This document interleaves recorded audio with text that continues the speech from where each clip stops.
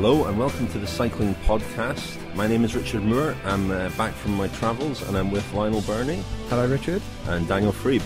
Hi, Richard. So I've been away for so long that I come back to discover that Philippe Gilbert has won a race. Um, that makes it seem like years that I've been away, but it's been a few weeks. And we'll talk about Gilbert in today's episode. We'll also talk about Flèche Wallonne, which was this week. We'll talk about the men's and the women's races. We've got interviews with Dan Martin, with Emma Pooley and Lizzie Armitstead. And then in part two, we're going to talk about the film premiere of Slaying the Badger in New York, which I was fortunate enough to attend. And we have an interview with Greg LeMond for that. And then in part three, we're going to cover a few newsy items such as the Tour de France presentation in Yorkshire, Mark Cavendish, Filippo Pozzato, and lots more. The Cycling Podcast interviews and analysis. We've got the big talking points covered. Okay, so let's turn our attention to the Ardennes. We'll not mention Liège Bastogne Liège because we're going to be overtaken by that. You might be listening to, to this after Liège Bastogne Liège, so we'll cover that in the next episode. But we've watched uh, the Amstel Gold Race, as I mentioned, won by Philippe Gilbert, and then Flèche Wallonne. And you were at Flèche Wallonne, Lionel. What can you report back from there? Well, it was a lovely sunny day in. Uh, that's actually in the Ardennes. Amstel Gold, of course, not in the Ardennes. That's in the Limburg region. of- yeah, but sorry, they're sort, of, they're sort of. We talk about them as the, the three Ardennes classics, don't we? we do. Erroneously. Erroneously. Perhaps, but you know, they, they, they all have similar characteristics, which, which in cycling are known as Ardennes. They're Ard- Ardennes style races, aren't they? They are Ardennes style races. Uh, yeah, the Ardennes is obviously the region of Belgium that Liège and, and Huy and Bastogne are all in. Yeah, Flèche Wallonne was it was a lovely sunny day. It didn't really the races were a little bit um, formulaic as they now are. I think Daniel said to me either before or just after Flèche Wallonne that you know once you've seen one um, slow motion uphill sprint on the Mur de Huy, you've kind of seen them all, and it's it's about the nuance of that finish now, isn't it? Just you see riders misjudge it, mistime it, and one person gets it spot on. And in the men's race, that was Alejandro Valverde. Um, Dan Martin, I think, thought he was going to be able to catch him on the line, but didn't quite have the legs. But nevertheless, a, a, a good result for him. perfectly judged finish by Valverde. It reminded me of uh, 2008 Tour de France, the first stage that he won there on a similar kind of finish, which a lot of people misjudged back then. That was up in Brittany, wasn't it, in Yeah. 2008? And he, he won a very, very similar finish also this year at the Ruta del Sol in. I've no idea how you pronounce that. Hen? Hen. Spain. In, it's in Andalusia anyway. Yeah, um, he's he's great at that sort of finish, and Valverde is is you know it's kind of back to the future with Valverde and Contador this year, isn't it? We're seeing them, uh, the sort of Valverde Contador of 2008, 2009. It's funny how everyone reserves any reserves their outrage for you know after after the finish after he's won, and you know people talking in the build up to the Ardennes Classics and the Limburg Classic Amstel Gold about how disgraceful it would be if Davide Rebellin won, but and they're quite happy to see Valverde win until he actually wins, and then everyone the, the kind of outrage. I haven't been aware of much once outrage. again. Has there been? Well, it- He did get a little bit booed on the podium. There were a, there were a sort of smattering of boos as he uh, got onto the podium, which um, you know perhaps not surprising. Um, you know, it's difficult to tell who whi- who they were supporting. These people who were booing, but you know, nevertheless, there's always that little awkward moment when you realise there's booing. And I looked at Valverde's face, and, and I'm pretty certain that he sort of was slightly taken aback by the sound of um, boos from a certain section of the crowd. We should point out for those who perhaps not familiar, but Valverde, of course, has served a doping ban. He was caught up in Operation Puerto back in 2006. It was a few years until the authorities eventually caught up with him, and he, he did serve a ban. He's been back for a couple of years now, but I think this is the first year we've really seen him truly back to his old form. And, and I guess it's inevitable that, that some people will be suspicious of that because they will atta- uh, attribute his previous best form to the to the, the practices he indulged in at the time. Yeah, suspicious and indignant that he's never really opened up about what actually happened. And you know, he's a rider who, in terms of emotional legacy, will leave nothing really outside of Spain. I, I get the impression that in Spain he's still quite popular, certainly with um, hardened cycling fans anyway. But outside of Spain, he he leaves nothing really but kind of antipathy. Um, I- Would you Would you agree with that?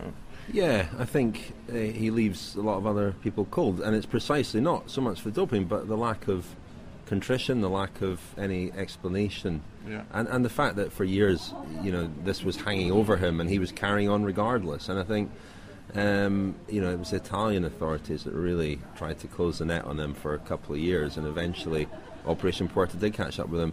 And you know the fact also that he, he served his ban and then returned to the old his his old team. It was it was reinvented as as Movistar, and there was a sort of sense that he hadn't really suffered. Um, he carried on training very hard during his ban. There was some ridiculous claim as to how many kilometres he'd ridden while he was banned. But you know, when someone's banned for doping, there there should perhaps be a a fear that, that they're not going to get another job. Um, that's perhaps how it should work. And with him, there was a sense that, you know, he was on kind of, it was almost like he was on, on, on leave. I'll not say paid leave because I don't know what this, the, the arrangement was, but He certainly trained with them on training camps and stuff, didn't he, when no, he was banned? Yeah, there was no, there was no, it, it was the, the ban only really amounted to him not being able to race his bike for a, a little bit.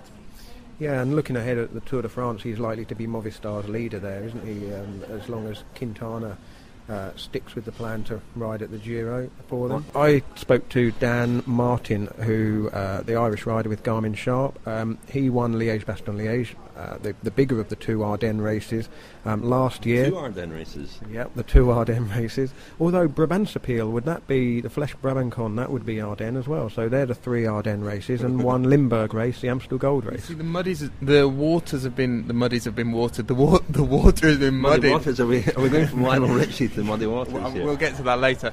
But things have been complicated rather by the fact that um, Flèche Wallonne and Liège Bastogne Liège used to take place on the same weekend, back to back. So it used to be the Ardennes weekend. Good knowledge. They used to have a dual prize as well for the rider. They did a, so you know, who uh, they added up the top tens of each race, and the most consistent rider won a prize from those two races. Um, And this is a great opportunity to mention Roger De Vlaeminck because the year that Roger De Vlaeminck won Liège Bastogne Liège, I think it was 1971. I might be completely wrong about this, but I think Liège took place before Flèche that year, and he won Liège. And then on the day of Flèche Wallonne, he went to watch a football match. I think he went to watch Club Bruges, and there was outrage in Belgium. There'll be outrage at the men- any mention of football. I've been picking up on Twitter some some some some negative uh, reaction to m- too many mentions of football. Wait till they hear all your Jamaican sprinting references later. this is the, the, the holy grail. There is a mention of De Vlaeminck and football in the same anecdote. I think we, we can't top that. Truly, truly, Lionel Richie, a great moment. Yes, we should move on. Um, I spoke to Dan Martin um, before the race, and then uh, we heard a little bit from him in the press conference after the race. And I think uh, we'll play um, those interviews now. Um, it's just quite interesting just how keyed up and focused Martin was in the morning. Quite uh, short answers. wasn't really too keen to engage in a an expansive conversation, but it loosened up a bit after getting second place, and he explained that um, this was his first big objective of the season as he moves towards um, the Giro. in the past, Flèche has always been a re- lot easier race tactically as far as it comes down to the Muur. Whereas the age is uh, really much a game of poker, and team tactics play a lot more because obviously it's a longer race and the fatigue is more in the finals. It's a lot more people looking at each other and, and making the right moves, whereas Flèche just comes down to pure horsepower mainly. Yeah. Is it like a kind of almost a sprint finish into the bottom of the Muur for the last time in Flèche Wallonne, and positioning is absolutely crucial at that point? yeah, pretty much. I mean, for the for the win, definitely. I mean, it's uh, you have to be right in the front, but it's also a game of tactics on the climb because people say I started two back last year, but I was actually on Moreno's wheel. I just let them go on the steep part and then came back at them in the flatter part. It's like it's a it's it's a it's different ways of riding the last climb, but uh, I think to win there's only like it's you have to learn this climb, and it's very easy to misjudge it and blow up, and you've seen that many times before. And in Liège Bastogne Liège, you have much more um, of a kind of a slow building race where team tactics come into it a lot more. Last year, um, probably Ryder Hesjedal's move was one of the main things that helped set up your win. Was that something that you um, talked about before the race? Was that a predetermined plan, or was it something that just played out in the race? Yeah, for sure. We knew that the rider's opportunity to win was to go from on that climb, and uh, he's not as good at the steeper climbs as me. So he, uh, yeah, he was, uh, yeah, he, the only way he could win was try to get that. And it's the it's the same kind of day today thing today. I mean, there's a lot of a lot of guys who don't have the the kick to win on the final climb. So that's why you're going to see a lot more of a an interesting race tactically with a harder final now. I think, but uh, but yeah, it'd be interesting. Um, did you see the panda last year? That became quite a big story. You, it, it was behind you, wasn't it? There's a picture of me looking directly into its eyes, but I never actually saw it. So. Just lastly, on the Giro d'Italia um, coming up, it's going to be massive, isn't it? Starting in Belfast and Dublin, but those stages are going to be quite nervous, I think, aren't they? Are, are you looking forward to the point where it gets into the mountains? And, and are you? Uh, does the weather play a factor for you? Because the last couple of years we've seen terrible weather in the Giro. What favours you more, and what are you looking forward to most? I think the starting line is going to be fantastic. It's going to be a big morale boost going into the race in Italy, and when we get a third rest day, so that's always good, isn't it? Well, yeah, they, say you have to learn how to race this last line, and uh, yeah, every year I seem to get a little bit better.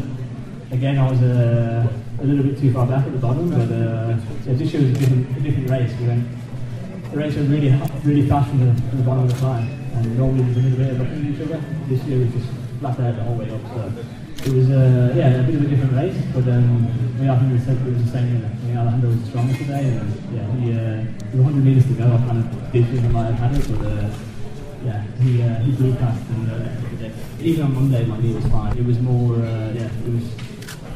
It, it was definitely 100% for me today, and we, we needed not the attack in the final, so we've obviously got an incredibly strong team, Ryder and, and, and Tom Slagter and Fabian, and yeah, I think the, the on speed at some point, so I didn't, we didn't get to see Tom uh, Ryder have a go, and it was such a fast race today as well that I think breakaways was really difficult, but we had Ramunas in the break from the start, and uh, yeah, so as a team, it really perfectly. The guy, at the boys looking after me in the peloton, and kept me in good position all day and, uh, and relaxed. I think that's the most important thing in this race. You have to really save energy by just chilling out.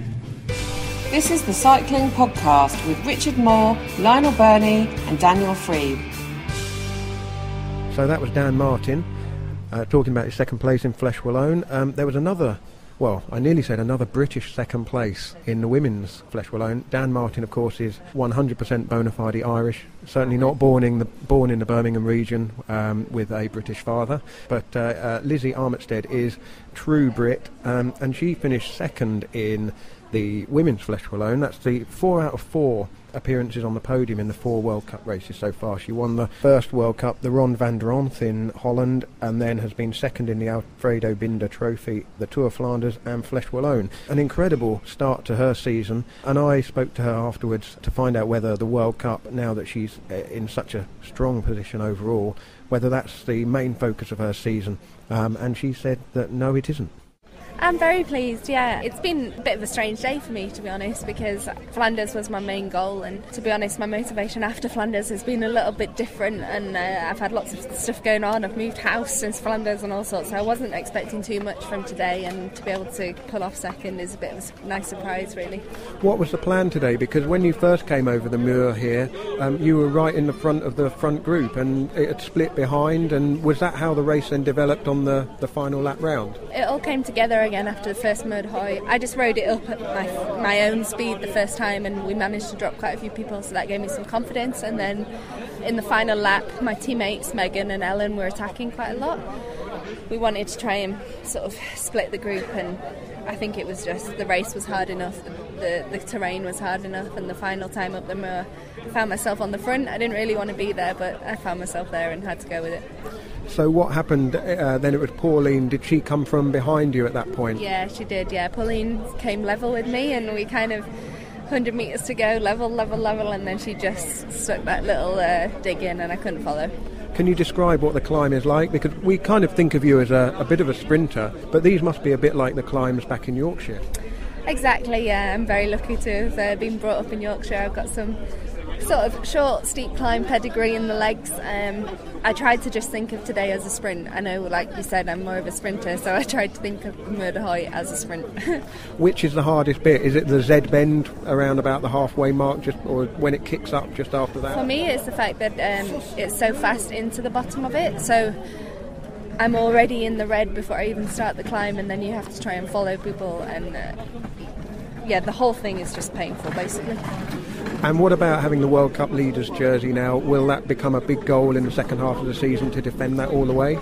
No, I think I keep disappointing people when I say no, but and I don't want to chase the World Cup and then be able be tired at the World Championships. I'm going to miss the China round because it's too much travelling. I have an unstable stomach anyway, so I don't want to risk the Chinese food. And then um, Commonwealth Games is the same time as one of the other World Cups, so it's, it's not a goal for me.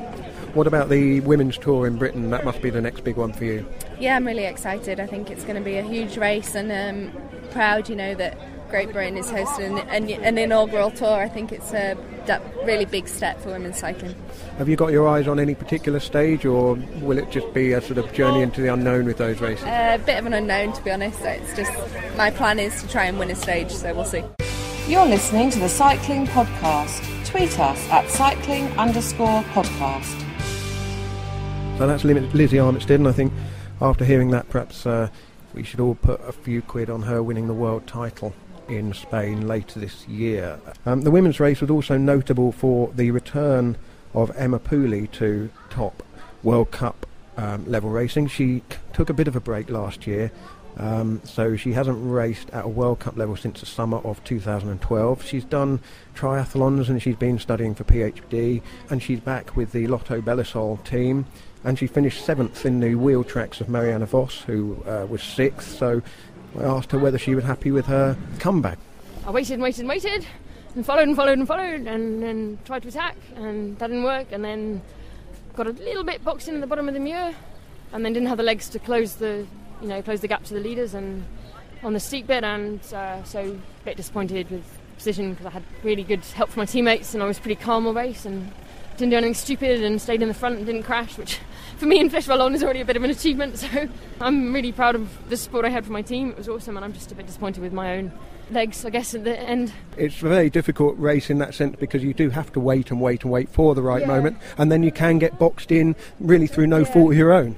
Yeah, but I had my teammate. She drilled it on the front all the way down the valley, like all the way from like 5k to go, and then I got swamped just on the little draggy uphill bit before it goes into the narrow proper Muur, and that's annoying. I don't feel great on the climbs. I've been having breathing issues, really tight chested, and have that whenever it gets really hard. So I, am going to get that checked out, and hopefully, uh, if I get that sorted.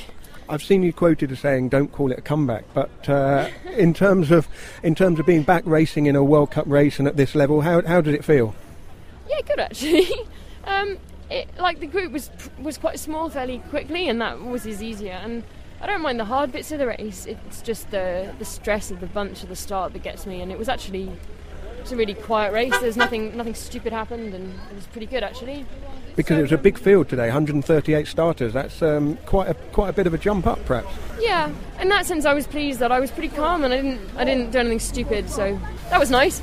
I felt like I raced smartly. Uh, for me, you know, I'm well known as being the idiot, but like at least it just I'm a bit disappointed with. You know, I felt a bit like didn't quite have the legs at the end. So. And, and briefly, what's next for you? The Women's Tour of Britain is the next race. The Cycling Podcast. Subscribe on iTunes, listen on Audioboo, and visit us at thecyclingpodcast.com. That was Emma Pooley, a former time trial world champion, a Great Britain rider, back at the top, and uh, we'll be looking to perhaps, I think, the Grand Prix Plouay would be the biggest objective for her in the second half of the season.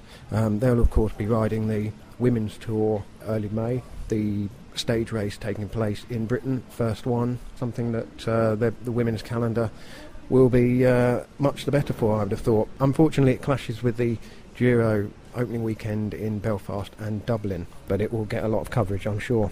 Now, Richard, you're back from your extended holiday in Jamaica.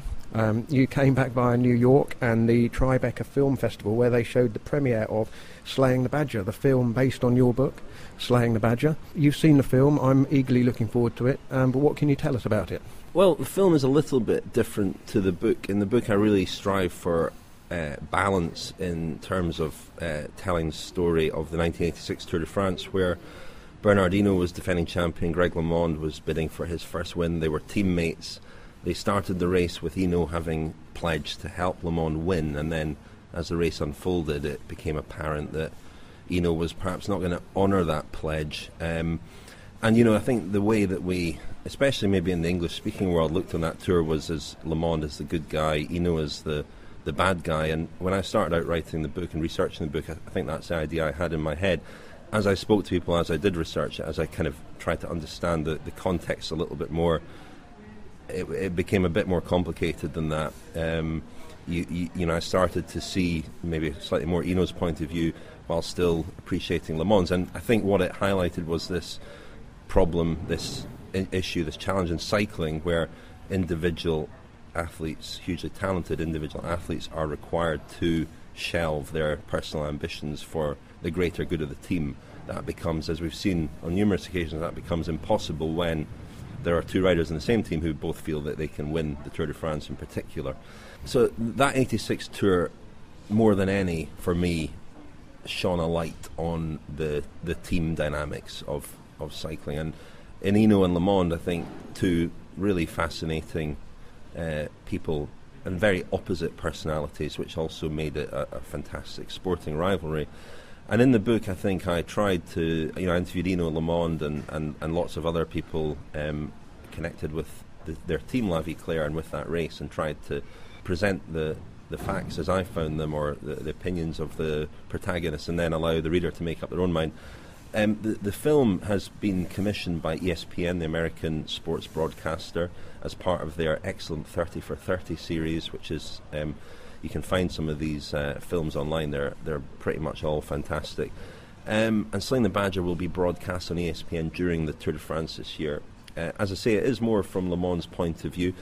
It's really LeMond and his wife Kathy LeMond, Greg and Kathy, who uh, are a bit of a double act, and they went on that adventure to Europe in the 80s together, and they lived that that, that period together, and, and so they appear together in a lot of the film. It's beautifully shot, very cinematic. The, the archive footage is superb. There's a brilliant clip of LeMond in 85 at the end of the Stage to Luz Ardiden when he'd been asked to wait for Hinault, who was suffering that day. Um, and LeMond is having a confrontation afterwards with Paul Köchli, the, the director, and saying, "I want Hinault to win, but you wouldn't have told him to wait. You know, you you wouldn't have. told. it's one rule for him, another rule for me." And at one point, somebody tries to interrupt him, a broadcaster, I think, and LeMond, most uncharacteristic, turns and says, "You want me to punch you in the face?" You know, it's a it's a great vignette that, that illustrates just how on edge LeMond was and, and could be. You know, whereas Hinault was this totally rock steady, um, who just you know character who relied on brute strength was always very certain about what he was doing. LeMond kind of fluttered between certainty he, and uncertainty. He probably wouldn't have asked whether the guy wanted to be punched in the face. He probably would have just done yeah, it. Yeah, yeah. yeah, yeah, exactly. I mean, they're, as I say, that they were such opposite characters, and, and the, that race exposed it, it brilliantly. And uh, you know, anybody who can watch the film, I would. I'm sure it'll be shown uh, in uh, at other events, and it'll be available on DVD as well at some point. But yeah, it's, it's really good, and the premiere was a fantastic occasion. Um, Greg and Kathy were both there, and I think they, they really enjoyed the film, and, and you know it's great to see other figures such as Andy Hampsten, Paul Köchli, journalistic colleagues of ours, Sam Abt, Francois Thomazeau, uh, they all feature in the film as well. It's directed by John Dower, isn't it, who made the film about Bradley Wiggins winning the 2012 tour, which people may have seen on Sky Atlantic. Uh, really great documentary. Again, just getting under the skin of the people that are involved in the story and just gently teasing their characters to the fore without being terribly heavy-handed about it. I thought in the Sky documentary and some of the some of the footage and particularly you know, Shane Sutton's character comes across very um, dynamically in that. Um, in terms of uh, John's yeah, just, work, uh, yeah, just on that, I mean, it, I guess sh- show rather than tell is the is is the uh, the approach, and um, I would contrast it in that sense with the Armstrong Lie, the Alex Gibney film, which is more tell than show. Um, and I think that's the strength. That's the strength for me of the, of this film uh, that you're introduced to these remarkable people and their words and actions are shown to you, uh, explained, and, and you, you know you, you make of it whatever you will. And one per, a, reaction that interested me of somebody who did watch Slaying the Badger was, while you are sort of rooting for Le because it is told from his point of view, you have real you develop real sympathy for him. He's a very likable, engaging guy. While you have that sympathy for Le this this American uh, journalist said, I, I I couldn't take my eyes off the screen whenever Hinault was on. You know, he he is such a compelling character and, and a sort of villain, but a very charismatic and quite likable villain. I'd say he's still like that today. I stood just um, below the steps on the podium at uh, Flèche Wallonne, and he was presenting the, the flowers and medals to the riders. Um, and he still has that magnetism now. I mean, he looks as fit as a fiddle. You, if you had to put an age on him, you would you would say mid forties almost. At, um, at most, uh, and what must he be now? Um, well, he's at least Mid 50s. yeah, he's mid fifties. So, you know, he looks uh, he, he looks fantastic. Um, now he's got that.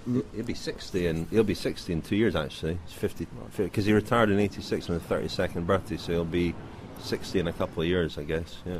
Which makes it all the more incredible. I mean, uh, contrast that, Daniel. We saw the Pantani film uh, recently, and Evgeny Berzin was on the screen, filling the screen. Um, for you wouldn't have, if you if you had to say he won the uh, the Giro in '94, you wouldn't necessarily believe it, would you? I thought he looked pretty good, Lionel. I mean, um, he's still got a wonderful shock of blonde hair and um, just looks like he enjoys his food, does Evgeny. He certainly does. Yeah. One way of putting it. What involvement did you have in the film, if any? And do you know if John uh, Dower, the director, um, used the book very much as a kind of uh, reference point or a, a base upon which to tell his story? Because from just watching him work at the 2012 tour, he strikes me as one of those people who is just keeping his eyes out open and his ears open, and he's letting the story come to him rather than going off in search of it almost. Yeah, this was a different sort of project for him. The the film was kind of born at the 2012 tour. This Slaying the Badger film because I he I he interviewed me for his his Wiggins film and we chatted quite a lot and, and I mentioned to him the fact that there was some interest from a, an, another production company in making a film of Slaying the Badger. And he just read it and said, "Oh, I'd, I'd like to make that film." So we picked up on that after the tour, and it was interesting because that 2012 tour did throw up some of the same issues as '86 when you know, Wiggins and Froome teammates and the two strongest guys in the race. So, in that context, we spoke quite a lot about 86 and about the, the, the, the team dimension to cycling. And, you know, so th- that conversation continued after the tour, and, and that's when John took out an option on the book. To, and he did use the book quite a lot. I mean, he interviews the same people. Encouragingly for me, they said a lot of the same things to him. So there was a lot of uh, there were echoes of, of claims that were made in the book, such as Andy Hampsten's claim that in 86, at one point, when he attacked to set up LeMond on Superbagnères, Paul Köchli drove up to him and said, Andy, you can go and win the tour here. Forget about your bickering teammates. Just go and win the tour. And th- what was fascinating was that LeMond didn't know that until the book and the, and the film came out, which was quite quite amusing. And Andy Hampsten is another one actually. He looks about mid thirties. Incredible. He's Benjamin Button of professional cycling. He seems to be looking younger and younger as, as the years go on. Uh, so I didn't. I mean, once once John took an option on the on the film, I gave him my contacts and we spoke a little bit as he was making it, but I didn't have any any involvement in at all. And I, know they were toying with the idea of, of a different title, a title that reflected LeMond because it is more of his story. Uh, and it was there were a couple of titles bandied about, but obviously I'm very pleased that they went back to the title of the book, "Slaying the Badger," which uh, certainly tends to intrigue people, if nothing else. And, and it's had a lot of publicity thanks to the badger cull in this country.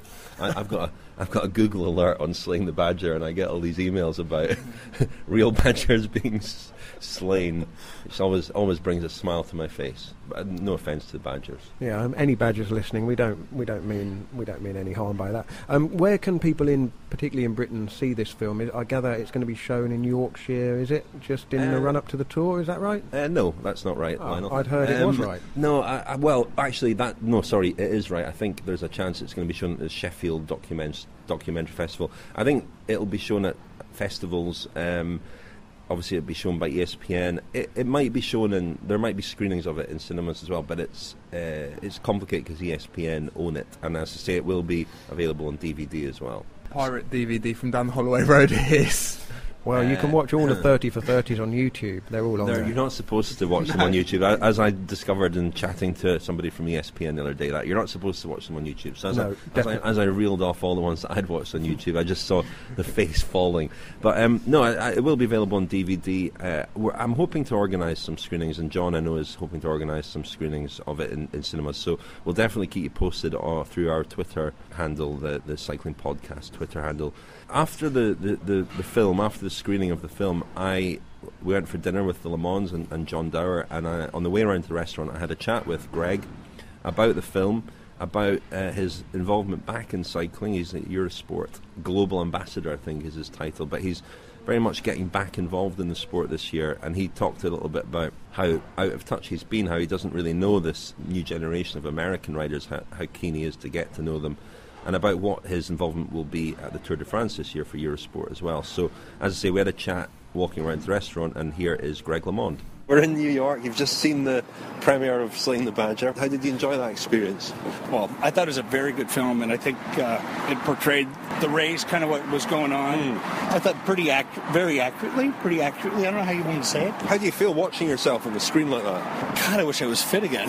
no, no, I just looked at how young we were. Sometimes I go right now. I kind of I don't take things as I can get over kind of stuff and move on, and and I realize like I was actually really tense. Sometimes I kind of downplay it and go, okay, well, they weren't really trying to do it. It's just part of the race. And then I realized, no, there was a strategy behind it. And Well, how do I was feel? very gullible. I was very gullible. How do you feel watching Hinault? I mean, what are your feelings towards Hinault now?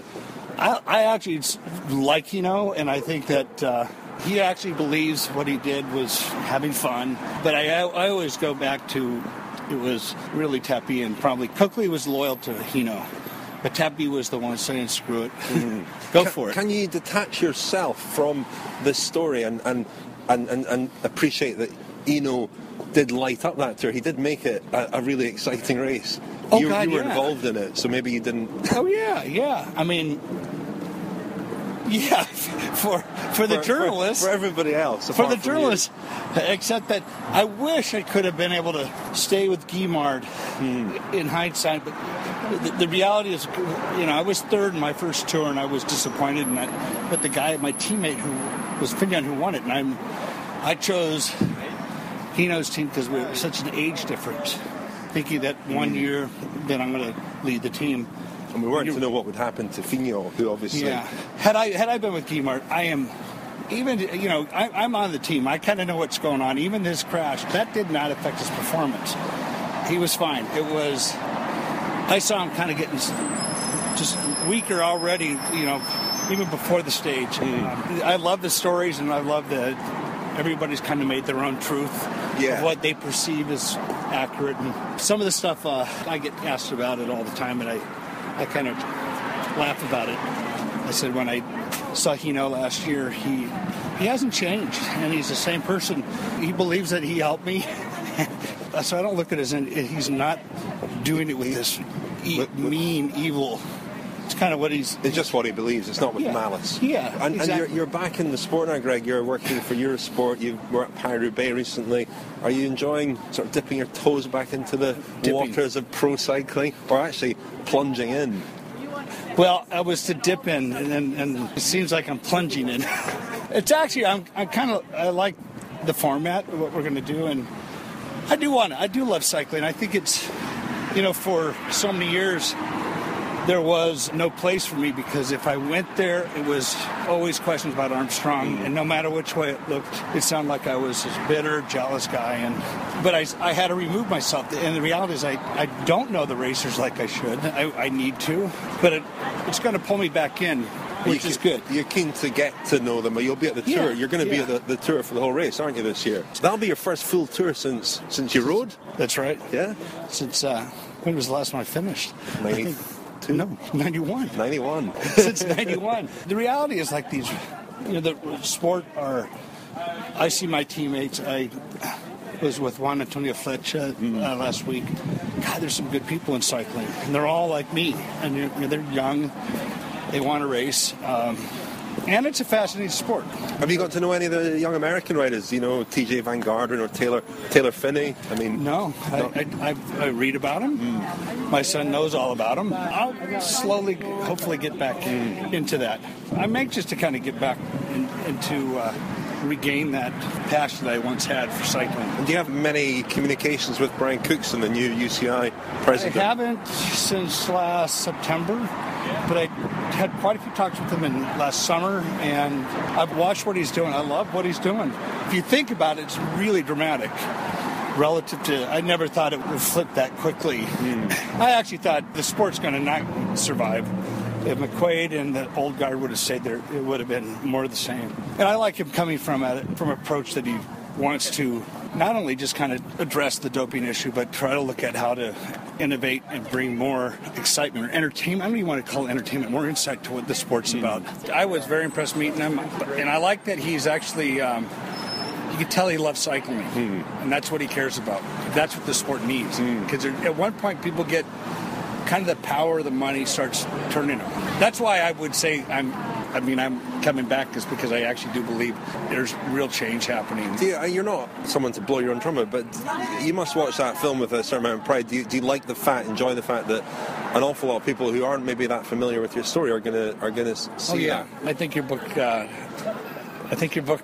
Uh, people read it. I think it's it's really. Um, time what cycling's about, but also the personality. But also, it's kind of nice that there's a book that's. Uh, I said I don't think I will. I don't know if I'll ever write a book.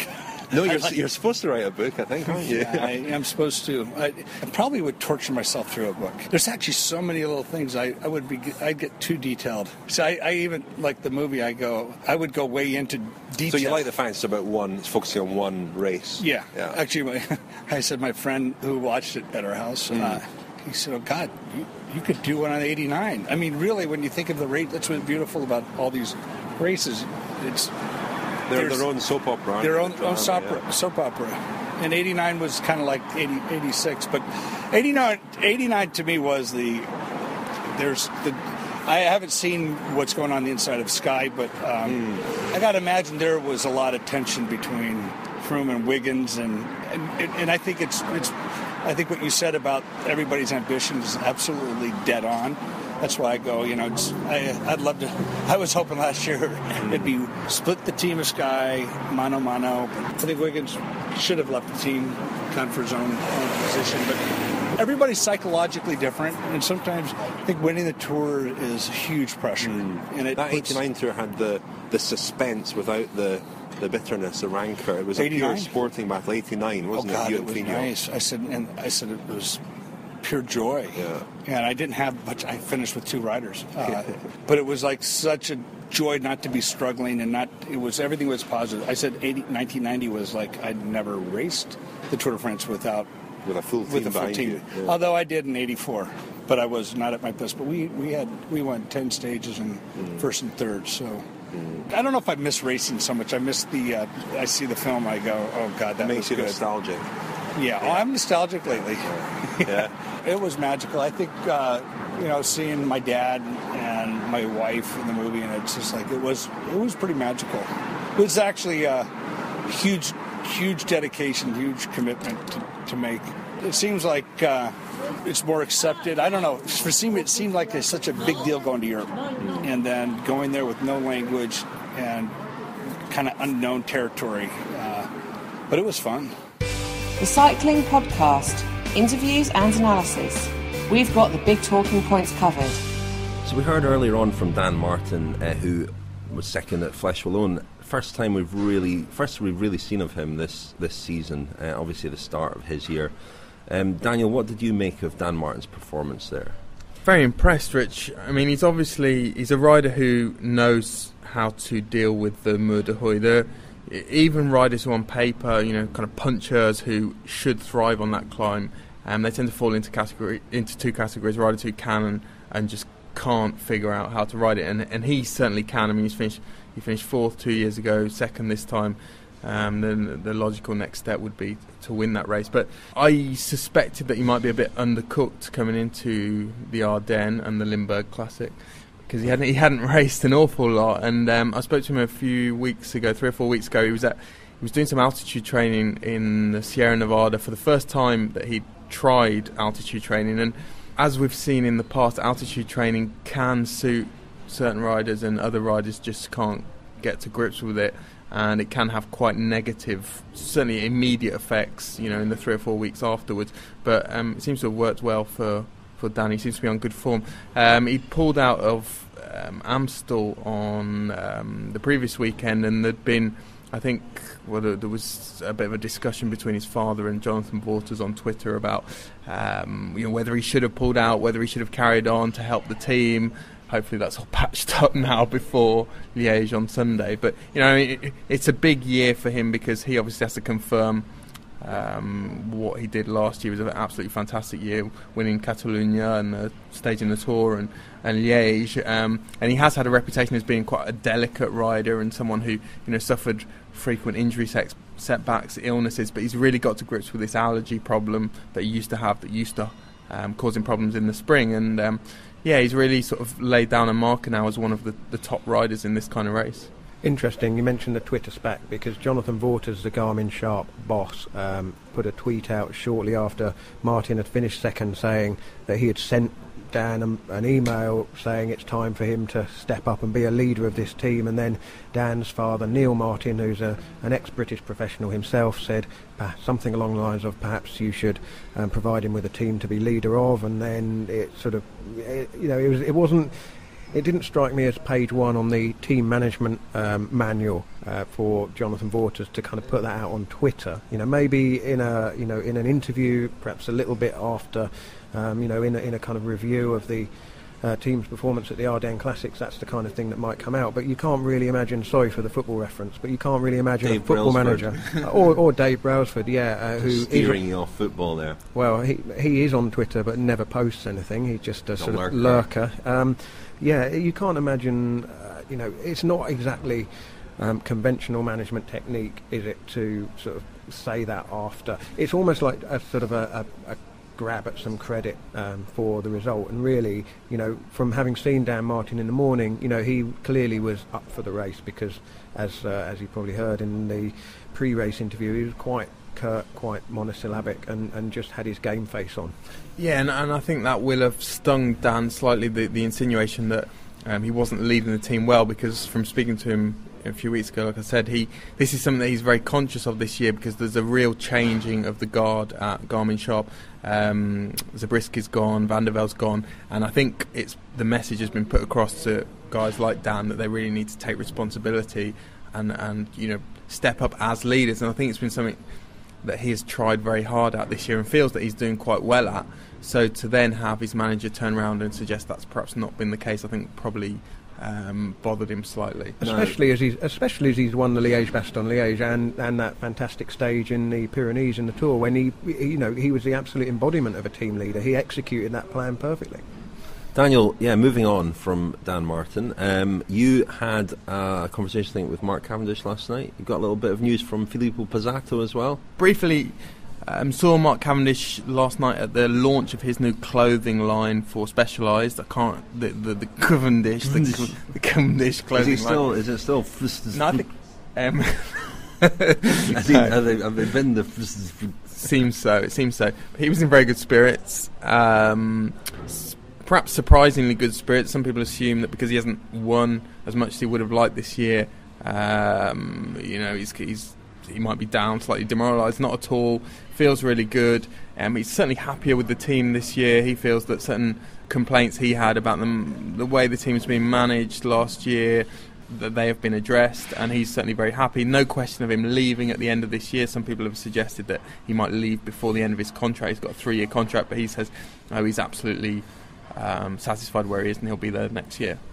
And Pozzato, what's this about? Filippo, Well- a podcast favourite, Filippo Pozzato. Different story there. So Pozzato was down to ride the Giro for Lampre Merida.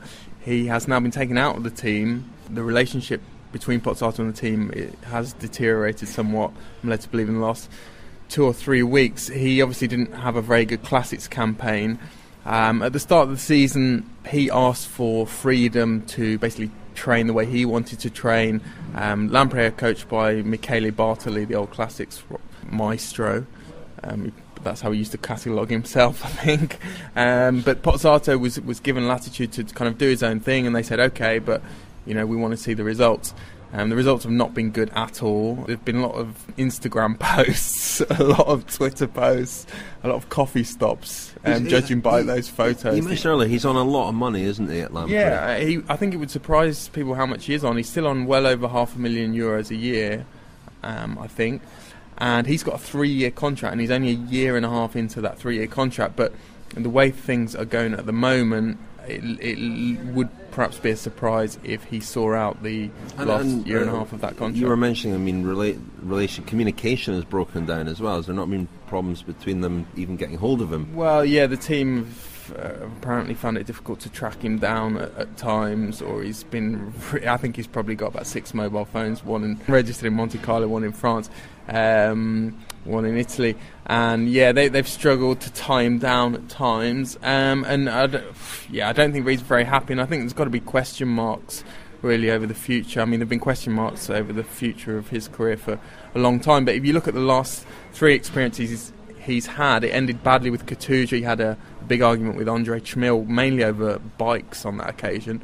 Um, then it ended badly with Luca Scinto at um, the the team that now calls itself Yellow, Yellow. Fluo, and it's not going in the right direction at Lampre. So, and you know, just sort of knowing him and, and knowing how he feels about the criticism that is often sent his way from the press and um, team management as well. I, I, wouldn't be too shocked if if this went south. He might decide that he's had enough, and you know, I think he's 32 this year. He might decide that um, it's time to bid farewell.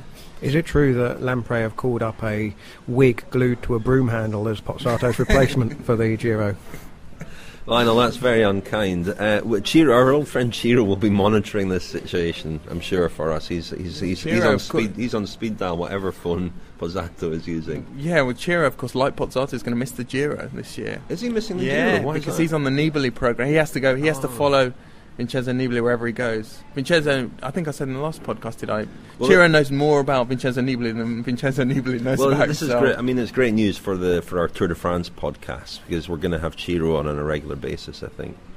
Hopefully, I mean, if, Nibali still abandons, nego- still negotiating. If Nibali abandons on stage in Yorkshire, Ciro might get be on the first plane home. Oh God, that'd be a disaster Naples. for the podcast. He'd be on the beach by stage three. So, uh, any any other business, chaps, or we're going to wrap it up? We've tried to cram a lot into this week's podcast. Anything else? And um, what about the very quickly the tour presentation? I was um, trying to um, avoid the, the, the, tour presentation tickets furor. Sorry, Rich. Um, I didn't realise uh, how do you agenda. feel? How do you feel? all, I always bring my own agenda. we're moving part four. We're going to move on to Jamaican sprinting, but the the tour presentation in uh, Yorkshire is going to cost money, quite a lot of money.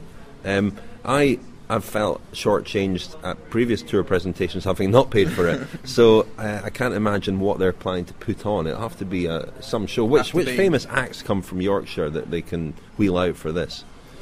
Alan Bennett. The Arctic Monkeys. Yeah. Alan Bennett. yeah, I can see that going down well. I mean, for, uh, that, for that amount of money, I'd expect nothing less than Atomic Kitten, but they're not even from Yorkshire, are they? It's forty-five to eighty-five pounds plus booking fee um, for a ticket at the um, the Leeds Arena, um, Leeds First Direct Arena, I think it's called. Um, it can hold um, a maximum capacity 13,000 people. There was a furore on Twitter, particularly um, when the ticket prices were announced, and the Le Tour Yorkshire people moved quickly to clarify that the um, it's a not-for-profit event, so it's not like they're lining the coffers or even covering the funding shortfall the BBC reported, which is uh, there's a 2.3 million pound funding gap on the tour's visit to um, Britain, which is being currently being picked up by UK Sport to cover the gap. Um, but no, the money from the team presentation ticket sales will go into putting on the event. Um, and on just doing some very sort of back of a pa- bag packet calculations, you know, there could be upwards of a million pounds revenue from that event. So a million pound show. I'm, I'm like you, Richard. I'm struggling to think what they I, can possibly do. I hope Danny Boyle's involved. On a serious note, the the people, the punters, will be going there to see the riders. The the the, the sad thing is that for the riders, it's a chore that they could really do without. Any rider who's there to, to try and win the tour, especially, uh, is trying to get through that with a minimum of fuss and hassle. And, you know, if you want to see bored looking riders trudging onto a stage and standing there waving, it's just, I mean, it's the the tour itself is free, and that's the main thing. I, I think you know if you've got a choice between going to the tour presentation or going to the start and getting good access to the start area or even standing by the side of the road to watch the race pass, I would certainly recommend the latter. I'm, I'm assuming that you know Yorkshire, Danny Boyle's bound to be involved in some way. The teams will come onto stage. Um, there'll be a, a majestic set of a hillside. Yorkshire hillside will be built inside the Leeds Direct Arena, and each team will come sliding down the hill in nine-man baths, a la Last of the Summer Mo- Last of the Summer Wine, I think, Oh, something really? like that. You've- I think you've that's Been, you've been giving this quite a lot of thought, haven't you? Are you offering these ideas up for free, or do you want a slice of that million pounds? yeah, a ten percent would do. Ten percent would be very nice indeed. Anyway, any, anything else to add to ticket prices, frenzy? On that low note, I Yeah. think we should probably end. No Lionel Richie. No Lionel Ah, Richie. We've had it already. Oh yeah, sorry. It was very subtle no heated this debate. week. We should have had the heated debate Now, what about. happened to Mystery Voice as well? I was thinking about that while you were away in Jamaica. Oh, we've On not the done lo- that those for a long, while. those We, we ran out of um, funding for posting out prizes. We're hoping to get some more. Uh, anyway, that's all for this week. Uh, we'll be back again next week uh, on our weekly podcast. Apologies for the little delay this week. It was al- to allow me to get over my jet lag, which I've almost done. Well, it was mostly because of the Easter holiday. Uh, that as well. Um, so thank you very much, Lionel. Thank you, Richard. Thanks, Daniel. and Thank, thanks. both of you for holding the fort while I was away. Oh, thanks, Rich. No worries. It's good to have you back. I'm contractually obliged to say that. This is the Cycling Podcast with Richard Moore, Lionel Birnie, and Daniel Friebe.